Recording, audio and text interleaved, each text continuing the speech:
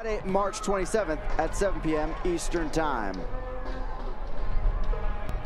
Oh, another great lane here. Koreniuk into the box, left side, slots it in. Make it four in a brace for the goal scoring leader last season. Los Dos off and running. Play. He starts this all off, drops back in. Here comes the possession. Perez, we mentioned, seamless in transition when Jorge Hernandez went to the sideline. Put it out in front and let the playmaker go get it.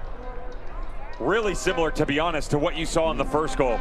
Ball down into the channel. The entire back line